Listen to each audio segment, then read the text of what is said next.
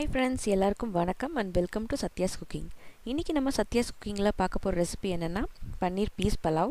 இந்த பன்னீர் பீஸ் பலாவ் ரொம்ப easy and சிம்பிளாக செஞ்சிடலாம்.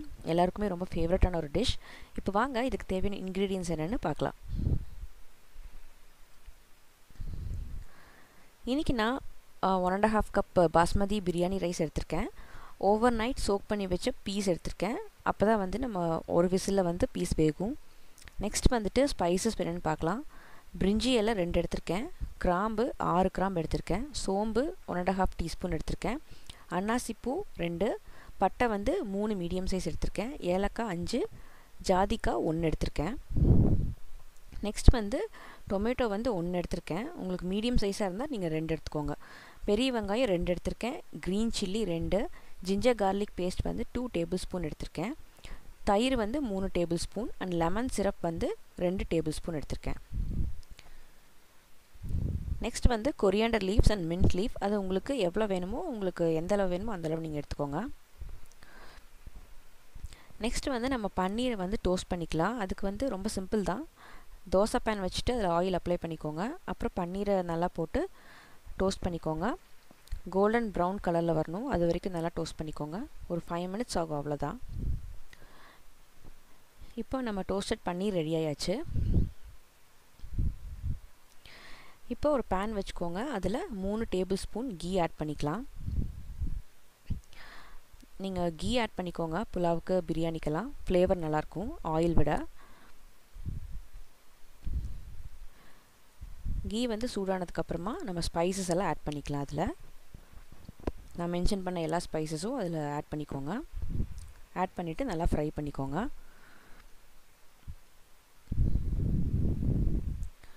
நெக்ஸ்ட் வந்து நம்ம ஆனியனும் க்ரீன் சில்லியும் ஆட் பண்ணிக்கலாம். பெரிய வெங்காயம் வந்து நீங்கள் நீல வாக்கில் கட் பண்ணி எடுத்துக்கோங்க. அப்போ தான் ஈஸியாக ஃப்ரை ஆகும். சீக்கிரமாக ஃப்ரை ஆயிரும். க்ரீன் சில்லி நான் ரெண்டு போட்டிருக்கேன். உங்களுக்கு காரம் ஜாஸ்தி வேணும் அப்படின்னா நீங்கள் இன்னும் ஜாஸ்தி போட்டுக்கலாம்.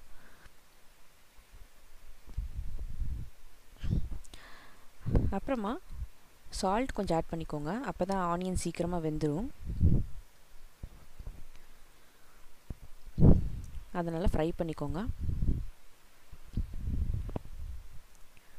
நெக்ஸ்ட்டு வந்து நம்ம டொமேட்டோ ஆட் பண்ணிக்கலாம். நான் வந்து ஒரு பெரிய சைஸ் டொமேட்டோ எடுத்தங்காட்டி ஒரே ஒரு டொமேட்டோ ஆட் பண்ணியிருக்கேன் மீடியம் சைஸாக இருந்தால் நீங்கள் ரெண்டு டொமேட்டோ ஆட் பண்ணிக்கலாம். டொமேட்டோவையும் நல்லா ஃப்ரை பண்ணிக்கோங்க.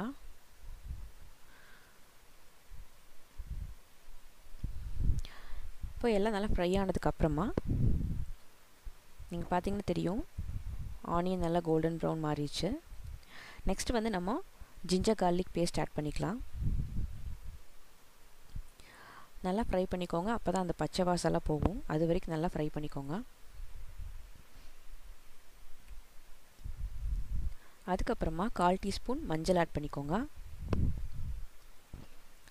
ரெண்டு tablespoon garam masala add பண்ணியிருக்கேன் நான் ரெண்டே ரெண்டு ஸ்பைசஸ் தான் ஆட் பண்ணியிருக்கேன் வேறு எதுவும் ஆட் பண்ணல. ஸ்பைசி மசாலா சொல்கிறேன் உங்களுக்கு சில்லி பவுடர் வேணால் நீங்கள் ஆட் பண்ணிக்கலாம்.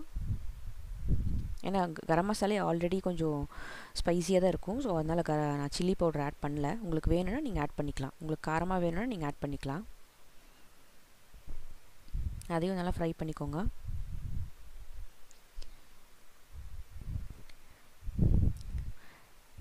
நெக்ஸ்ட் வந்துட்டு நம்ம சோக் பண்ணி வச்சுருந்தோம் இல்லையா அந்த பீஸ் ஆட் பண்ணிக்கலாம்.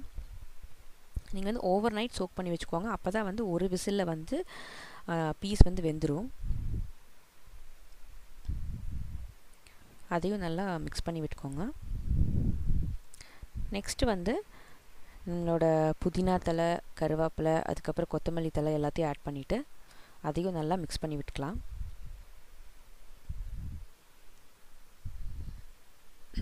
புதினா உங்களுக்கு இன்னும் ஜாஸ்தி வேணும் அப்படின்னா கூட நீங்கள் ஜாஸ்தி ஆட் பண்ணிக்கலாம். நல்லாயிருக்கும் இப்போ நம்ம three tablespoon curd add பண்ணிக்கலாம். தயிர் போட்டுக்கலாம். தயிர் எதுக்காக ஆட் பண்ணுறோம் அப்படின்னா ரைஸ் வந்து ஒட்டாமல் இருக்கும். உதிரி உதிரியாக இருக்கும். நல்லாயிருக்கும் சாஃப்டாக இருக்கும். அதுக்காக தான் தயிர் ஆட் பண்ணுறோம்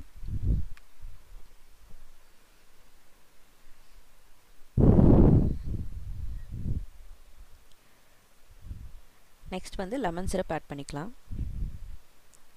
லெமன் சிரப் ஒரு ரெண்டு டீஸ்பூன் ஆட் பண்ணிங்கன்னா போதும். அது ஒரு ஃப்ளேவருக்காக தான் ஆட் பண்ணுறோம் எல்லாமே நல்லா மிக்ஸ் பண்ணிக்கோங்க.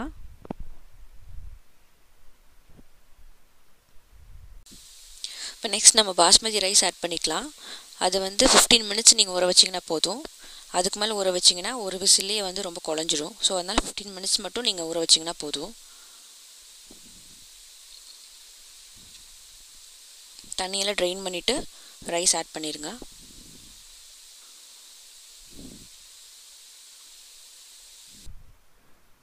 அதையும் மிக்ஸ் பண்ணி விட்டுக்கோங்க.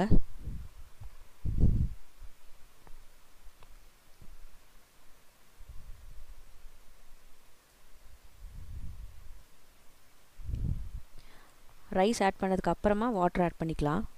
அப்போ தான் அந்த மசாலாலாம் ரைஸில் மிக்ஸ் ஆகும்.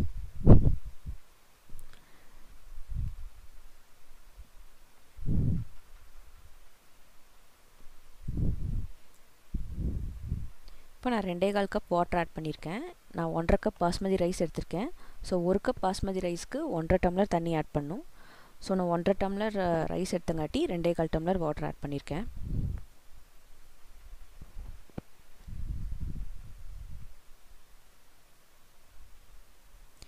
ஃபுல்லாக மிக்ஸ் பண்ணி விட்டுட்டு சால்ட் செக் பண்ணிக்கோங்க. சால்ட் ஆட் பண்ணோன்னா நீங்கள் ஃபைனலாக சால்ட் ஆட் பண்ணிவிட்டு குக்கர் லிட்டை மூடிடுங்க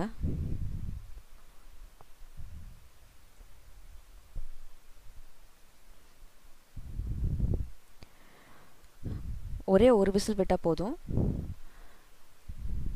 அதுக்கப்புறமா ஓப்பன் பண்ணி பார்த்தீங்கன்னா நல்லா வெந்திருக்கு. இப்போ மிக்ஸ் பண்ணி விட்டுக்கலாம்.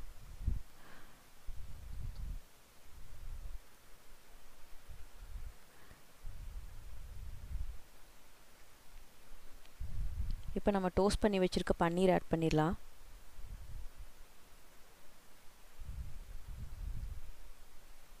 பன்னீர் பார்த்திங்கன்னா நல்லா கோல்டன் ப்ரௌன் கலர் இருக்குது அதையும் புலாவ் கூட ஆட் பண்ணிவிட்டு நல்லா மிக்ஸ் பண்ணி விட்டுக்கோங்க.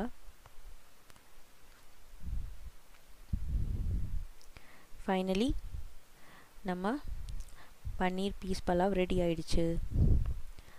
நீங்களும் ட்ரை பண்ணி பார்த்துட்டு கமெண்ட்டில் ஷேர் பண்ணுங்கள் எப்படி இருக்குன்னு. Thank you friends hi friends என்னோடய வீடியோஸ் உங்களுக்கு பிடிச்சிருந்தா லைக் பண்ணுங்கள் ஷேர் பண்ணுங்கள் மறக்காமல் சப்ஸ்கிரைப் பண்ணுங்கள் தேங்க்யூ